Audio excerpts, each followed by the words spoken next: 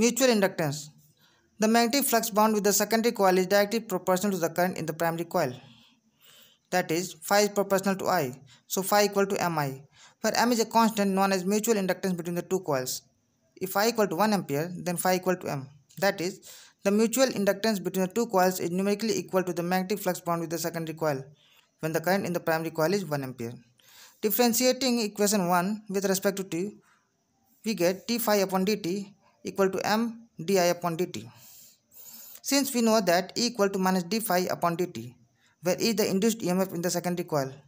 Hence from equation 2, we get E equal to minus m di upon dt. If di upon dt equal to 1 ampere per second, then E equal to minus m.